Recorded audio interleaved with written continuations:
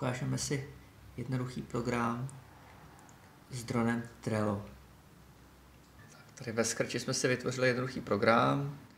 Dron by se nám měl vzníst, se stoupat dolů a pak by nám ve vzduchu měl nakreslit čtverec a trouhelník.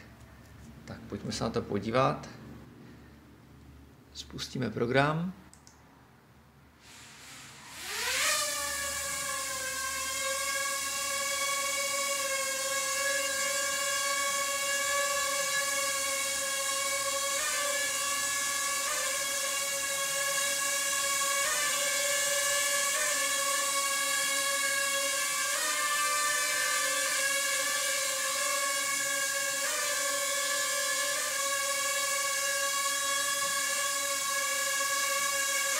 Trec máme za sebou, kreslí trouhelník.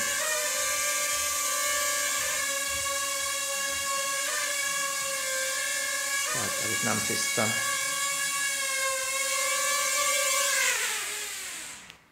Skvělý.